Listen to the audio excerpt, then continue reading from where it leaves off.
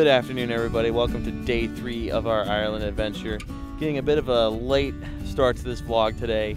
Um, I was out most of the morning and early afternoon just playing tourist, uh, exploring some places with my dad. He's on his golf round now.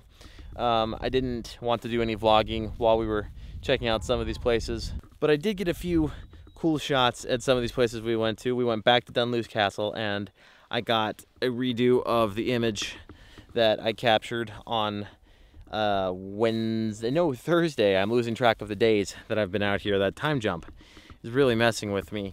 Um, I'll admit the redo, the sun was better, but it's still, thinking back on it, wasn't a really engaging image.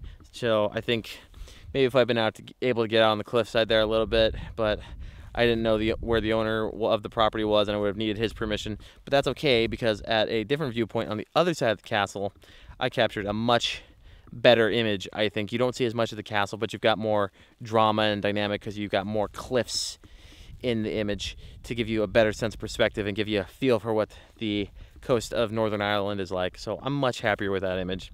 And then we also just went and checked the downhill manor uh, downhill, yeah, I think I believe downhill manor. And that was very cool. That was like Downton Abbey-esque. It was huge. It was just great. You could tell in its day it was just a grand, grand mansion, grand home. And it's fallen into complete disrepair, which is why the National Trust has uh, control of the property now, because it is now just a complete ruin. And then the Mussenden Temple, I believe is what it was called, went over there and got a uh, image of that using the gravel path as a lead-in to the temple itself. Very cool structure. That was impressive in, of, in and of itself. And so uh, photography-wise, it's been pretty good today. Again, I haven't been vlogging because I've been playing the tourist and actually spending some quality time with my dad, but now he's out on the course and I am out doing this. And I'm just kind of exploring the just the countryside here, heading for a more forested area. Maybe we'll get a little hiking in. Today, I really just don't have a plan. I'm just out doing recce and exploring and just uh, finding shots as they come. All right, let's talk a little bit of photography here. I have come up the road and I've found what looks like this old stone and sheet metal covered barn and it's just really cool because it kind of gives you that sense of rustic and old um, farm life. There's a, you can't really see it in there. There's an old tractor, one of the old um, horse-drawn tractors, and all the rust and stonework just gives this image a lot of texture and color, and it's just really, really nice. I tried to incorporate I wish I could get a little wider, guys. I'm sorry, but I've got the wide angle on the camera here because I need it for this shot. I tried to incorporate some of these some of this fence line and some of these blackberry brambles to uh, help give a little bit more texture to the image, but it just wasn't coming out right. It was coming out kind of flat and kind of boring. So I've decided to just centralize on the uh, barn here. Just real quick camera settings here. I'm having to be really careful because my tripod's really balanced kind of precariously in the grass down here and with the blackberry bushes and against the fence. So I'm not solid footing, so I'm trying to be really careful here. Settings wise, I am at f11, ISO 100, shutter speed of 1 over 100, uh, and bracketing a stop either way because I'm just having trouble pulling in, pulling down the sky enough and pulling up the shadows enough to get that dynamic range. I don't shoot with grad filters. Uh, I think I've mentioned it before, but in case I haven't, it's just uh, more glass. I feel like that I'd have to carry around more stuff I'd have to carry around. And in my opinion, Lightroom does just fine with the software grads. So that's why I don't shoot with grad filters. Uh, just another piece of glass that I could end up breaking by accident. So three stops either way. I'm on a 10 second timer because of the boggy, boggy ground here. So just eliminate the camera shake three exposures here. And I think this is gonna turn out really, really well.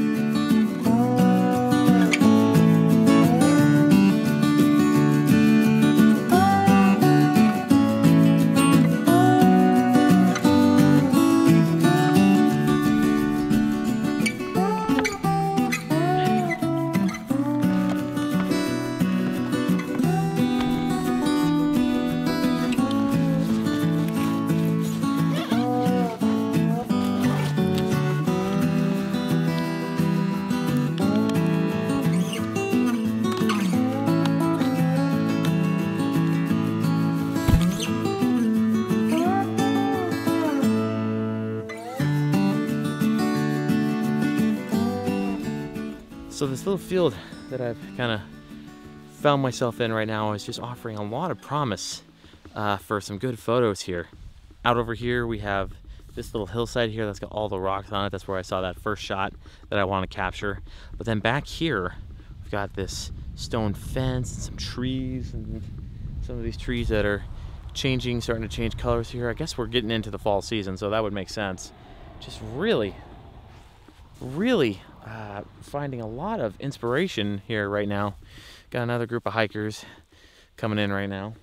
So I'm probably gonna just put the vlogging camera down and capture this one shot here real quick. Talk you through it before they get over here. I'm zooming in on this cluster of boulders that is just up here on the hillside. We've got a little bit of a fence line right there, a little tree right there. I'm gonna try and eliminate those. I think, well, I think I'll keep the little tree in there, little bush, for some context because that's gonna add some, some, something to the image. I feel like, but I'm definitely gonna eliminate those boulders right there. I'm trying to decide if I want to go for a 16 by 9 crop or a 4 by 5 crop. So I'm to let these hikers go through and I'm going to capture this shot here going at uh, aperture f8 ISO 100 and shutter speed I'll just put right here for you guys. Yeah, I think it's gonna be a cool shot.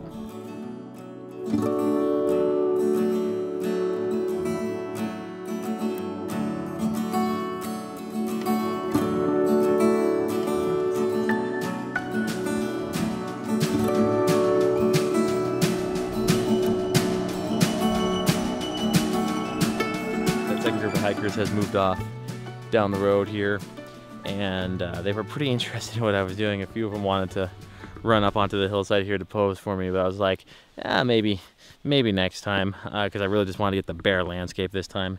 So now onto image number two, which is this tree over here with the stone fence running up and out towards the sea. I really, this image really caught my attention because it just, it's oh, it's just like it's rustic Ireland. It's just so classic.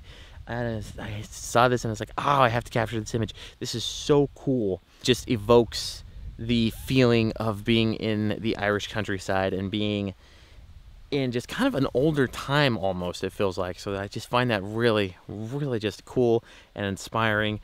And it's just, ah. Settings wise, I have gone for a square uh, square ratio, a one to one ratio on my camera because I there's just nothing interesting to the left or to the right. The fence was going just a little too far into some into a newer barbed wire fence, and I felt that kind of distracted from the image. So one to one crop, focus on the tree, f8, no f f10, ISO 100, one over 80 of a second shutter speed, and bracketing again. Three stops, you're uh, not three stops, bracketing a stop either way to capture dynamic range. Um, the light, uh, it's it's flat today, guys. I'm to be perfectly honest here. There's not a lot of good light in the sky. It's very subtle and diffused. This may actually become a black and white image. I feel like a black and white image might do this scene just a little bit more justice. Uh, but just really, really cool image here. So that's image number two. We're to move on to image number three over here.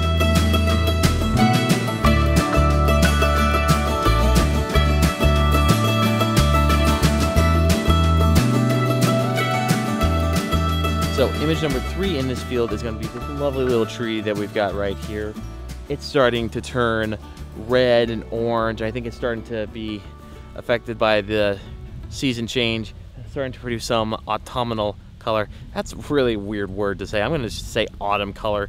It's starting to produce some autumn color and I think it's creating just great color and contrast. Just another cool kind of farm and forest image that I was really hoping to capture out here in Ireland. And I'm feeling like today we are accomplishing that goal. We've hit all the big tourist spots already up here in Northern Ireland, and now we're finding the more intimate landscapes. And I could not be happier right now because this is the kind of photography that you just chase. Everybody wants the big cotton candy shots, but it's shots like this where you get to be artistic and really push yourself to think creatively that make it all worthwhile. Again, I'm going for a uh, square crop one-to-one -one ratio uh, F14, I don't need to be on F14. f8 because I don't really have that much in the foreground that I need to worry about since everything's kind of all in the same position. ISO 100 because I'm on tripod. I don't really need to worry about the shutter speed too much and shutter speed of 1 over 125 and once again bracketing either way so I can capture dynamic range. I've got a little bit of sky in the shot that I want to capture some detail out of. Uh, 10 second timer, eliminating camera shake because I've noticed sometimes with me because I just go 10 second timer works a lot better because a 2 second timer doesn't give enough time for the camera to stop shaking. I think this might be one of my favorite images of the trip already and we've still got a full day of travel tomorrow and then I've got four days, I think four or five days in the Dingle Peninsula and to say that this is my favorite trip of the image, let's let's put it this way. This is my favorite image of the trip thus far. I'm sure there's going to be something else that's going to give it some competition, but right now this one's the leader.